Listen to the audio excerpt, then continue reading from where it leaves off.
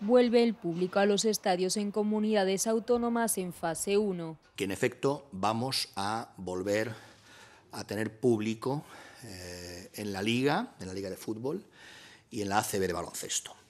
Eh, es verdad que lo vamos a hacer siguiendo los criterios que venimos siguiendo desde que se originó esta pandemia, que son criterios basados en la prudencia, basándose en el buen sentido, Así lo ha anunciado el ministro de Cultura y Deporte José Manuel Rodríguez Uribes en rueda de prensa junto a la ministra de Sanidad Carolina Darias, quien ha dado más detalles sobre esta vuelta. El aforo máximo permitido será un 30% del estadio con un tope límite de 5.000 personas público local. Además, se deberá garantizar en todo momento la distancia de 1,5 metros en todos los sentidos. Es que no se podrá consumir, no se podrá beber ni comer, ni tampoco fumar si agua por, eh, que estará repartiéndose pues, eh, por los distintos responsables del estadio para evitar la movilidad de las personas.